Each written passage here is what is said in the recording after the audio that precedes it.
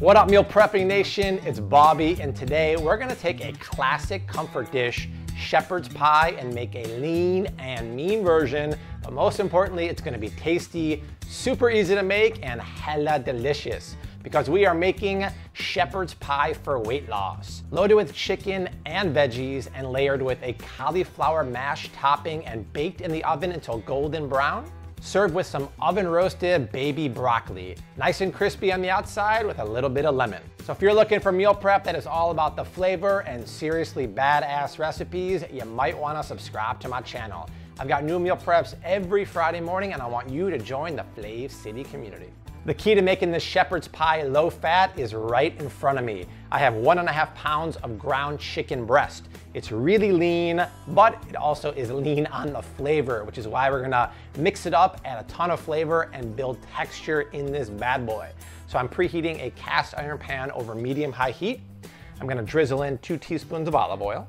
And then I'm preheating my pan for two minutes because as soon as this chicken goes in the pan, I want it to make this noise. So then go ahead and flatten into one even layer.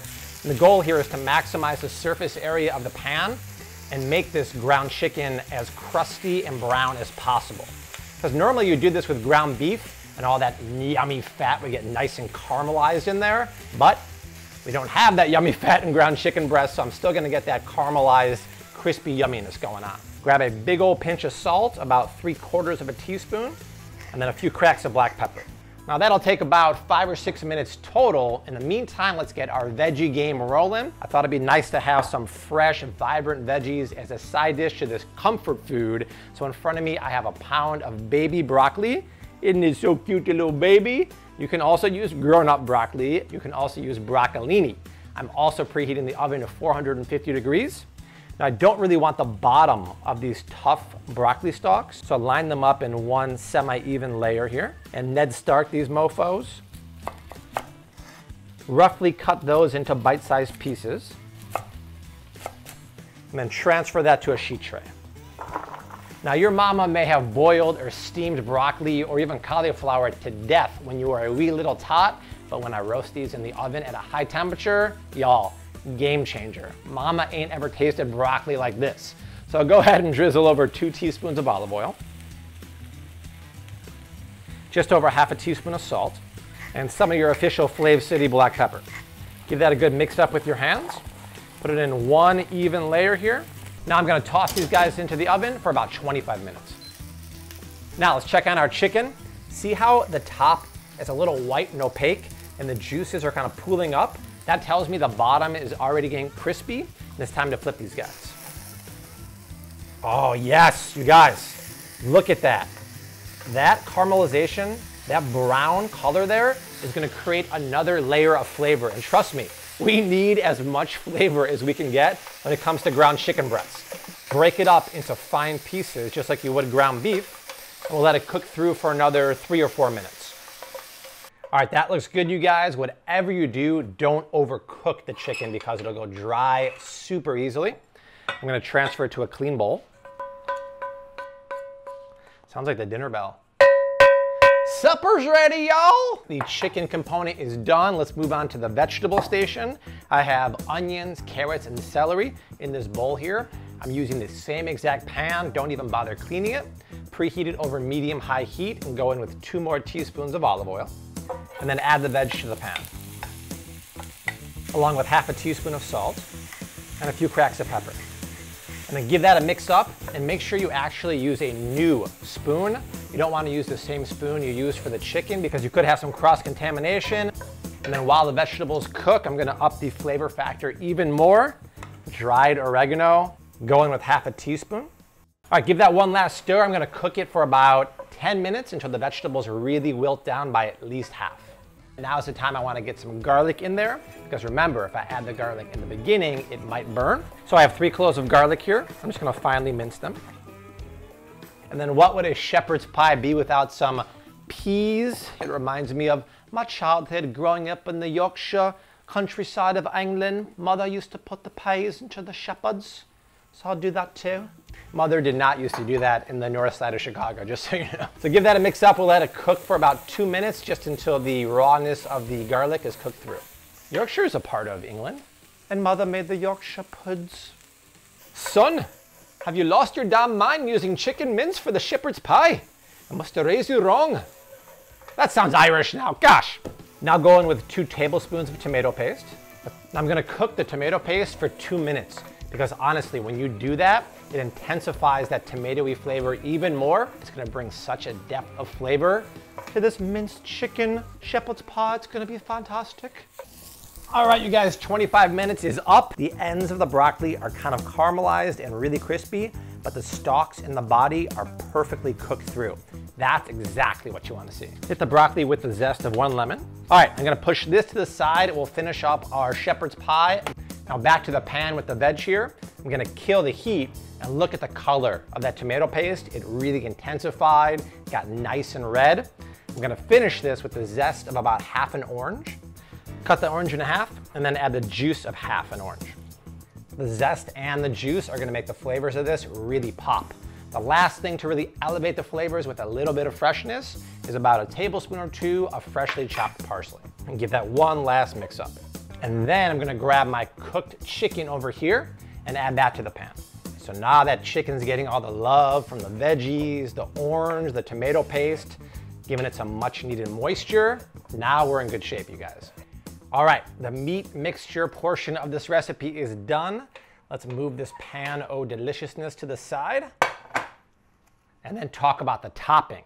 Now, normally shepherd's pie is loaded with buttery, silky mashed potatoes that have tons of milk and or cream in there. We ain't doing that, homie. This is a weight loss meal prep. So in front of me, I have two heads of cauliflower that I broke down into florets. We're gonna make cauliflower whip. So let me go back here and grab this big pot of water. Now before I go adding the cauliflower to the pot, I wanna season the water with salt just like I would pasta. So shaking about two teaspoons of salt. Oh!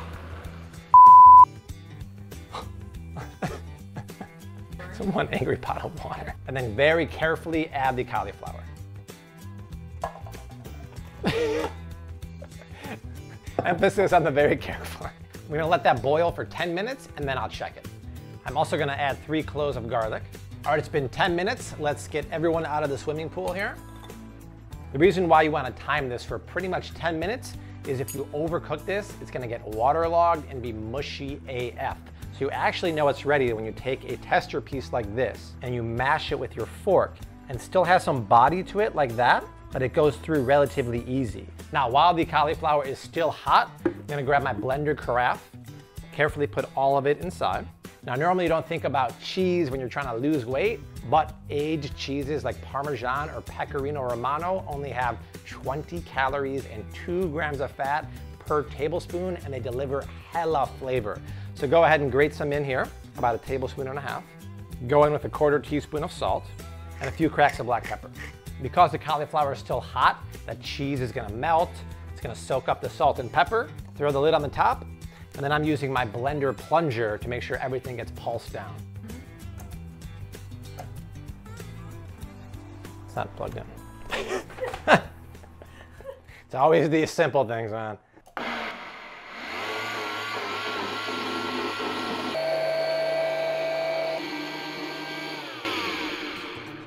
Now check it out, you guys.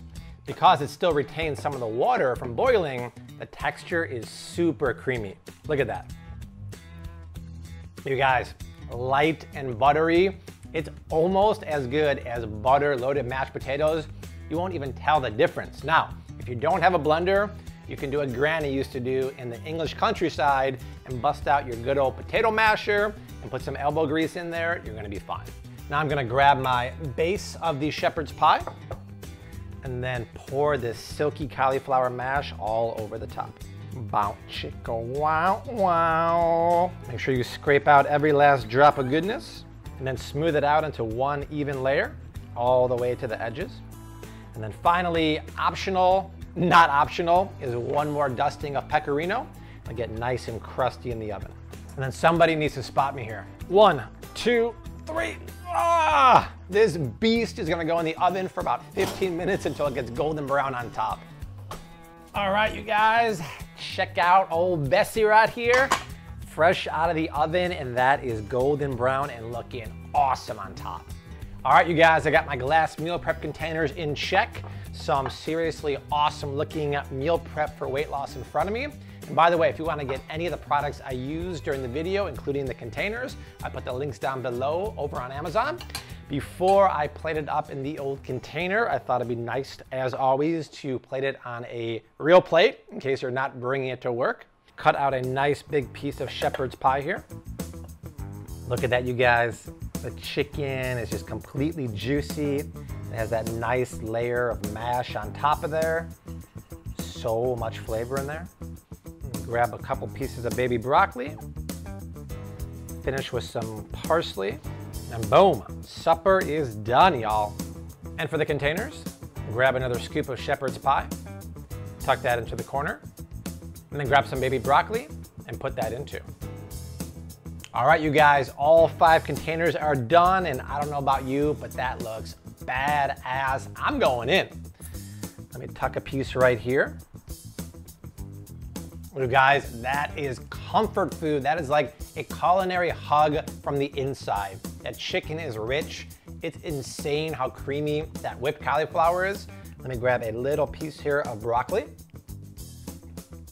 Mmm. Popping from the lemon zest nice and crispy, but really creamy on the inside. That is awesome. Well, there it is, you guys. Meal prep for weight loss, comfort food, but done light. The storing and reheating instructions are down below in the description box, along with the recipe and full macros. Subscribe to my channel, yo. New videos every Friday morning, and I want you to be a part of them.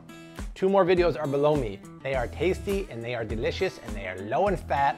Check them out. I'll see you next Friday like I always do. Until then, hashtag keep on cooking.